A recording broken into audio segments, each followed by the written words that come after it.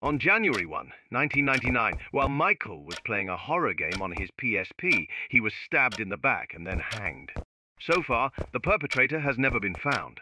On January 1, 1999, while Michael was playing a horror game on his PSP, he was stabbed in the back and then hanged. So far, the perpetrator has never been found. On January 1, 1999, while Michael was playing a horror game on his PSP, he was stabbed in the back and then hanged. So far, the perpetrator